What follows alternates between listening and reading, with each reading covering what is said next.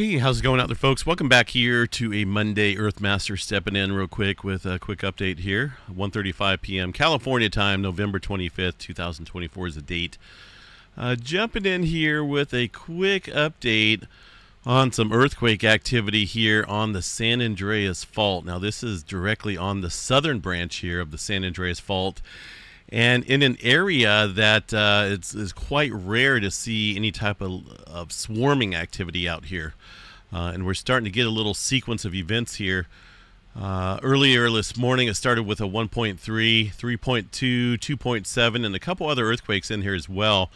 Again, that is on the San Andreas Fault here, or maybe just right off of it. Uh, but it is in a location that hardly sees any earthquake activity here.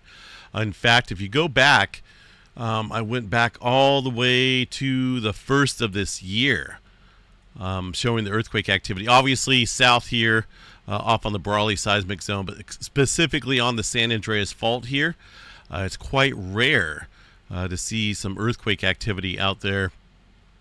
Um, as history has shown us here, you know, at least in terms of uh, a little swarm going on. In fact, only three earthquakes within today's swarming area of uh, looks like a 1.9 and a couple other small ones in there throughout the year. But got a little sequence of events stirring up out there. Now, whether this is going to turn into something bigger or not, uh, we'll have to watch. But it is in an area that gets me super nervous here because this area is locked and loaded and ready for an 8.1 earthquake. Now, this is well within the range of a triggering zone. This is right on it.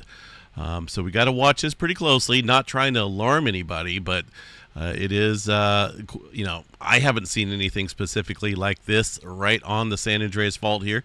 We've seen uh, a number of swarms south here along the Brawley seismic zone, and of course, I even get nervous when that happens down there. But this is more directly on it. Uh, a couple other earthquakes up north here as well within the last hour. Uh, another further up north earthquake on the San Andreas Fault as well, 1.2. Uh, but we're watching this closely here. Not a significant swarm, not a big, large magnitude earthquake, but you know, these could be foreshocks here to something much bigger. You don't want to mess around with the San Andreas Fault here. This area has not seen uh, any large rupture in over 300 years. So you got to remember how much strain is built up here across the southern branch of the San Andreas Fault and you know anything, something like this could trigger it. Uh, you get you know it's it's right on there. Uh, you get people like Dr. Lucy Jones and other seismologists around the globe saying, you know that. Um, uh, the triggering zone, right? In order to trigger a larger event, has to be within a mile or two, uh, or a couple miles there within a major fault system. And this is, you know, I think this qualifies for it.